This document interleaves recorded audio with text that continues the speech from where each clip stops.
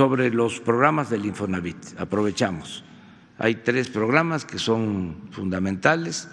Uno, que es la reestructuración de eh, los créditos para que este, se pueda avanzar, porque eh, me decía la gente que pagaban y pagaban y no dejaban de pagar.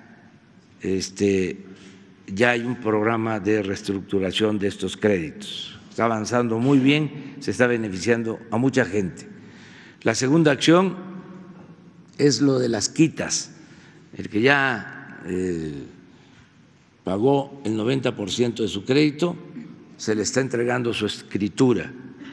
Hay una quita, una eh, eliminación de crédito, no quiero decir condonación, porque esa palabra está este, borrada, eh, porque era lo que más se usaba para este, hacer favores, para el influyentismo.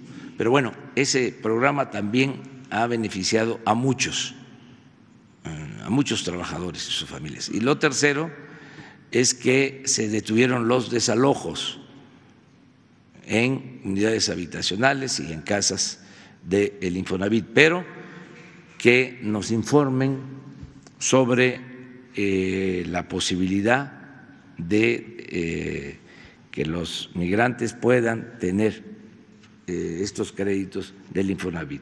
Queda pendiente.